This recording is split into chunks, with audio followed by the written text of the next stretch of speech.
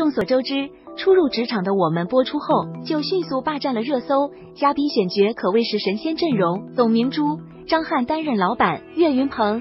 于朦胧等组成职场观察团，节目不仅贴近现实，也让我们看到了一群逆风前行、内心坚韧的优秀青年，以及在艰辛打拼之外值得珍视的人间温情，可以说是引起了大家强烈反响。而最近，董明珠跟岳云鹏火了。近日，岳云鹏在宣传初入职场的我们时，他表示。节目呈现了六名九五后求职者从十位候选人中脱颖而出的过程，先有付出，才会有收获。专业对口未必旗开得胜，实操经验同样重要。不过，说起节目中最靓的仔，当属董明珠。企业家董明珠化身面试官，一开始就展露出雷厉风行的作风，让人是倍感压力。哈哈哈！随后，岳云鹏透露道。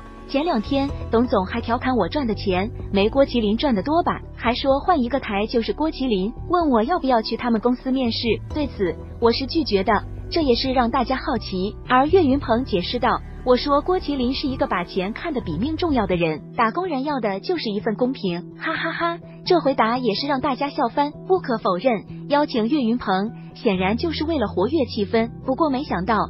他与董明珠之间竟然产生了不少化学反应，让节目变得更有看点了。我们也期待小月月在接下来节目中的更多精彩表现。